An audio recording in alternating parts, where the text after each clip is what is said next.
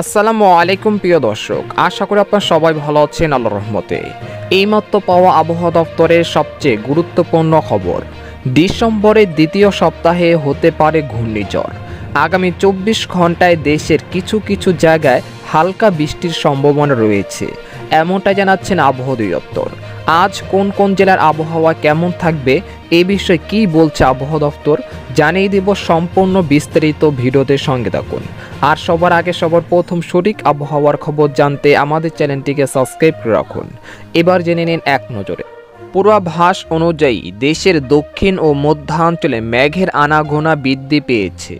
সেই সাথে বেড়েছে রাতের তাপমাত্রাও।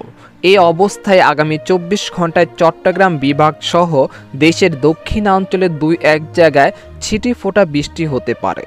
এরকম পরিস্থিতি ডিসেম্বরে এক বা দু তারিখ পর্যন্ত থাকতে পারে বলে জানিয়েছেন আবহাওয়া অধিদপ্তর।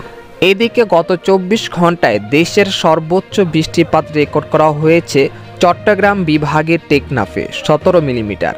এছাড়া দেশের আর কোথাও বৃষ্টি হয়নি। আজ সকালে দেশের সর্বনিম্ন তাপমাত্রা বারো দশমিক সাত ডিগ্রি সেলসিয়াস রেকর্ড করা হয়েছে পঞ্চগড়ের তেঁতুলিয়ায়। গতকাল যা ছিল তেরো দশমিক দুই ডিগ্রি সেলসিয়াস। এদিন সকালে ঢাকায় সর্বনিম্ন তাপমাত্রা বাইশ দশমিক তিন ডিগ্রি সেলসিয়াস তাপমাত্রা রেকর্ড করা হয়েছে। এদিকে বাংলাদেশের আবহাওয়াবিদ মোহাম্মদ ওমর ফারুক বলেন, মৌসুমের স্বাভাবিক লঘুচাপ দক্ষিণ বঙ্গোপসাগরে অবস্থান করছে। এর বর্ধিতাংশ উত্তর বঙ্গোপসাগর পর্যন্ত বিস্তৃত রয়েছে। আজ সকাল নয়টা থেকে পরবর্তী চব্বিশ ঘণ্টার আবহাওয়ার পূর্বাভাস তুলে ধরে তিনি বলেন, অস্থায়ীভাবে আংশিক মেঘলা আকাশসহ সারা দেশের আবহাওয়া প্রধানত শুষ্ক থাকতে পারে।